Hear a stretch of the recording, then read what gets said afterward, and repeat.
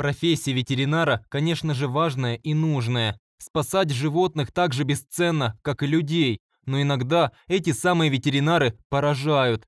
Причем со знаком минус. В городе Днепр недавно дети обнаружили еле живого кота. Его сразу же отнесли в ветеринарную клинику. Животное было истощено, у него была температура 32 градуса. Усатый почти не подавал признаков жизни. Но даже не это было самым важным. Дело в том, что на шее у животного были вшиты в кожу медицинские нитки. При этом шерсть под нитками не была выбрита, не было и шрамов. Ветеринары сделали ужасное предположение. Видимо, кота использовали в качестве пациента, на котором учились накладывать швы.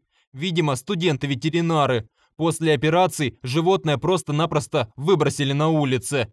Ветеринары поражены действиями своих будущих коллег. Как можно заниматься спасением живых жизней и в то же время пренебрегать ими? Дорогие друзья, если вам понравилось видео, поставьте лайк, а также подписывайтесь на канал, где вы найдете еще много интересного.